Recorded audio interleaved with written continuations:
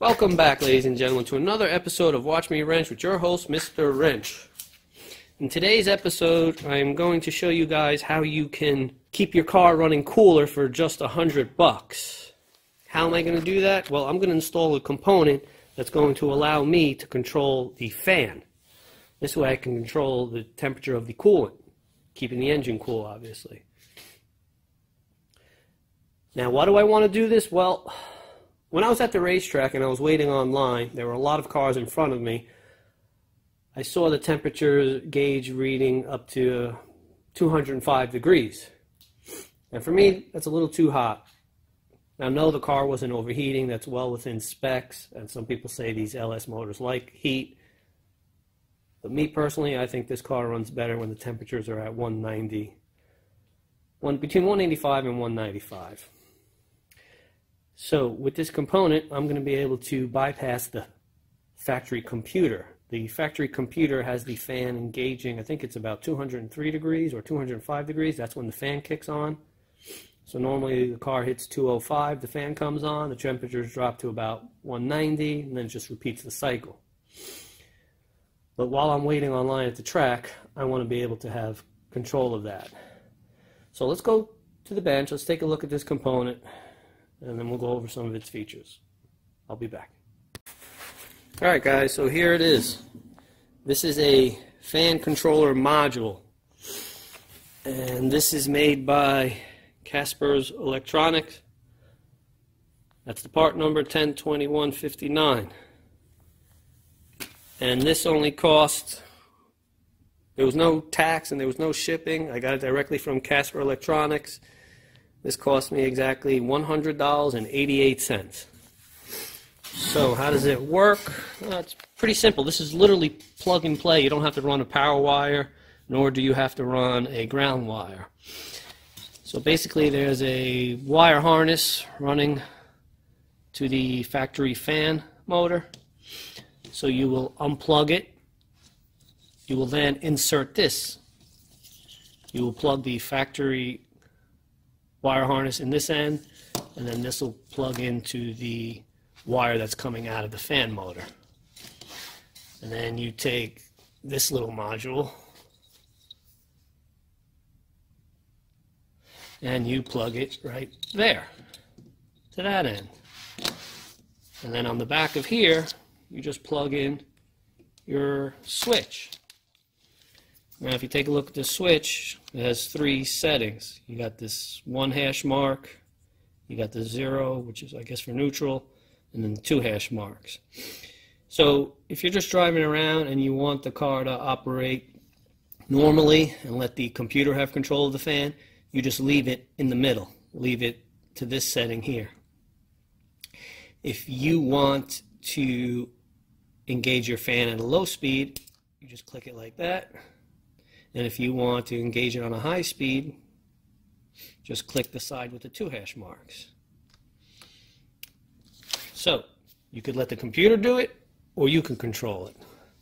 And also, if after you make a pass, if your car's a little hot, when you return to the pits, you could leave the fan running a little longer if you want. But don't leave it running too long, you will kill the battery. And the instructions even say you will.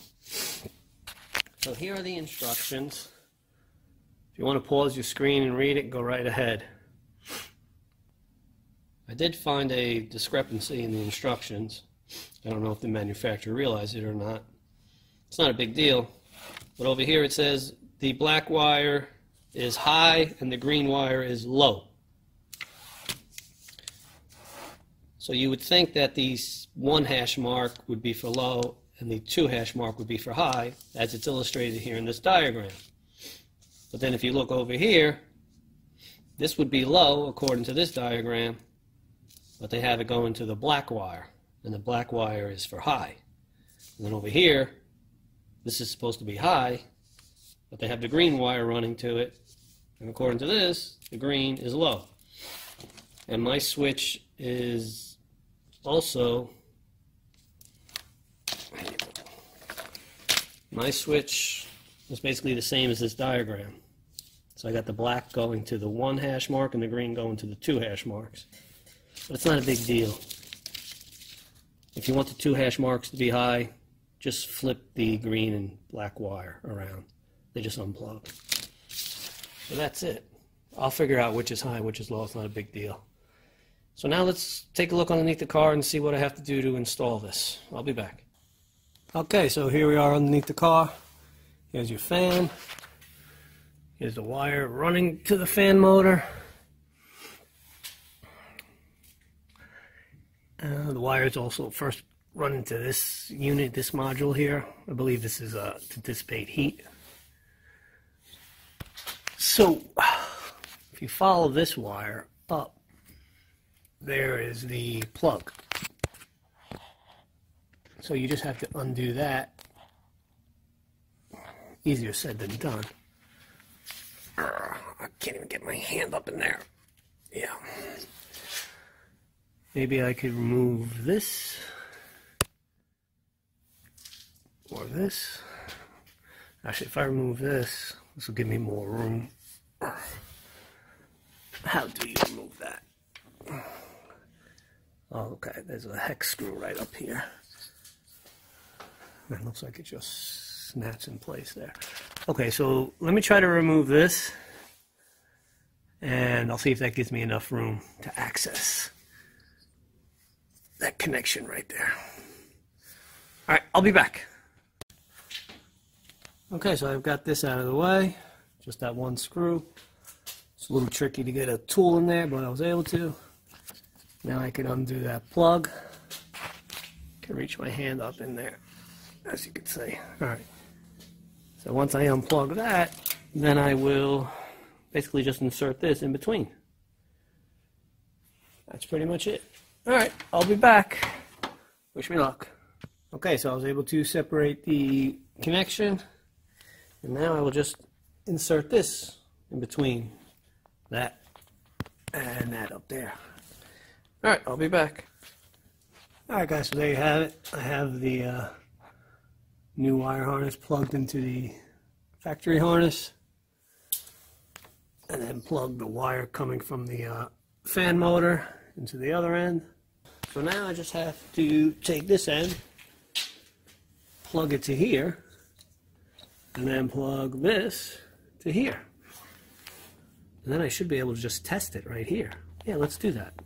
Okay, so it's about 10 seconds later. I've got that wire harness connected to the module, and then the switch I got connected to the other side of the module. So let's test it out.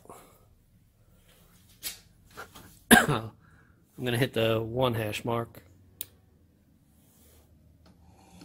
Ah, there you go. Check it out. So that feels like low. And now let's hit the two hash marks. Oh yeah. Awesome. So the one hash mark is low, the two hash mark is high. The instructions have just the wiring listed wrong. The black is in fact low, and the green is in fact high, despite the instructions saying the opposite. All right. So now you just got to run this through the car and find a home for this switch. And that's honestly going to be the hardest part of this whole job. I don't know if I'm going to show how to run this through the car. Maybe I will. All right, I'll be back. All right, guys, so I ran the wire through the car. The instructions say to do this on the passenger side, but I did it on the driver's side. Um, it's pretty easy. Uh, you just got to take your time. I haven't tied it up yet. But you can see the gray wire here. So I'll tie it up. I snuck it up and under. And then what I did was I took this cover off. You got this screw here. It's got like a little snap here. And then you have to slide this back and then out to get this cover out. So I ran it up under I pulled this back, pushed it under, under this cover, and then I undid this screw, and I just gently pulled back on this cover here. And then I ran the wire up and under, up and over this little bump here. You can see the wire up in there. And then I just peeled this back. This has got like a sticky double-sided tape. you can see the glue there. So just pull this back a little bit, then pop off this cover. This just has like two or three clips. So I ran the wire over this bump here, peeled this back, tucked it up through here. I didn't have to undo this one. Pulled this cover off, then ran it down and underneath the dashboard. Now, if you didn't have this large connector here, I would have uh, fed the uh, wire through here. Those are the uh, hood latch cables. But I didn't want to cut the wire. I was contemplating cutting it. Would have been a lot easier. But I didn't cut it. So now I just got to find a home and a place to mount this. Alright guys, so I think I found a spot where I'm going to mount this. I wanted to put it right in there. It fits perfect. It's an exact fit. Wedges in there nice and tight. However, I use that for my battery tender. Now I do have another 12 volt port here. So I tried my battery tender here. Some people say it works. But I was watching my battery tender and it was not working when I put it here. But some people say you could charge it from here, but mine was not working. So as much as I want it there, I'm going to put it here. So, I think this is where I'm going to put it. Right there. um, over here, the switch is definitely too wide. It won't fit. It'll overlap one of these. Um, you know, I don't know if you remember. If you watch that video, there's hardly any room in there. And the back on this is pretty wide. Um, so I guess it's going to go here.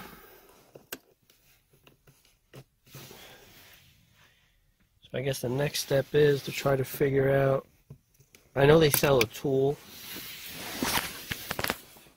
It's like a T handle. You stick it in there. Stick it in there and somehow it releases two tabs and then you can just pull this out without having to take this apart. But I don't have that. I'm going to disconnect the battery. I'm going to stick some small Allen keys in there. I'll stick two. One down there and one up there where the other hole is and see if I can just pull this out. If I could just pull this out, that'd save a lot of time and aggravation. Alright, let me get to it and I'll be back. Alright guys, welcome back. So it is like a month later since my last clip. I initially wanted to put the switch in the cigarette outlet that's over there. I use that 12 volt source for my trickle charger that the car came with. I had tried using this port over here, but it actually didn't work. And some people say it can, but it didn't work on mine.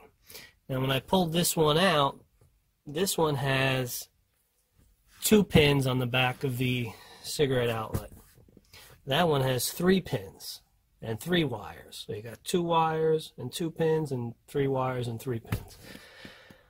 So perhaps that third wire is for the trickle charger. I don't know. This car sits for like three, four weeks. The battery always dies. Um, some people think it's because the OnStar is running and updating or giving off a signal. So I had to move the switch to over here. But the problem was, was the cable wasn't long enough. Um, where is it? Here. So the cable wasn't long enough, which is not a big deal. I could have extended it, but I didn't have this gauge wire. And Amazon, right now we're going through this pandemic, and Amazon didn't have this wire that could be shipped right away. I could have gotten it, but I would have had to wait like four weeks. Um, so instead, I just called the manufacturer Casper and I asked them to make me a longer harness, a switch harness. They only charged 20 bucks and they mailed it to me right away. I got it in like three days.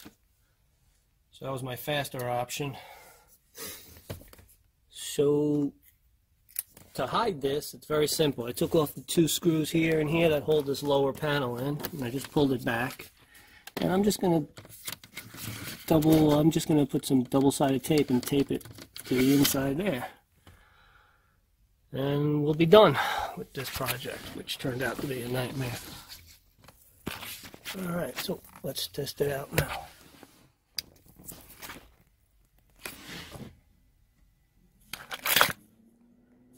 Oh, it's low.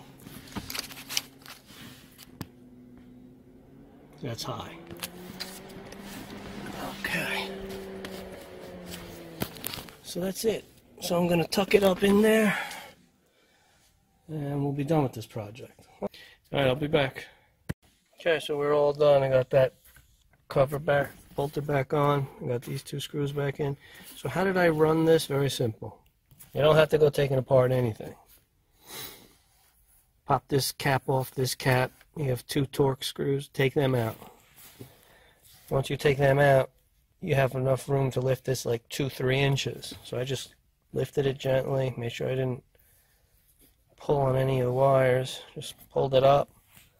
And then I just ran the wire harness on the inside up here. And then I used I used a Velcro tape, not double-sided tape. I fixed the uh, brains to the unit back here. So that's it. All right, so that's it. I'm done. Yes. And the best part is, you know, you don't see any of the wire. I hit it well. I mean, if you look, it's right there, but I think I'm going to tidy that up. Maybe get some black wire loom. I have it actually.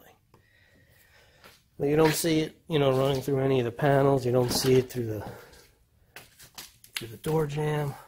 All right, so that's it. We are done. Nice and neat, clean install. Is this? Oh, I got some. Gotta clean that. All right, so that's it, guys. Another job done.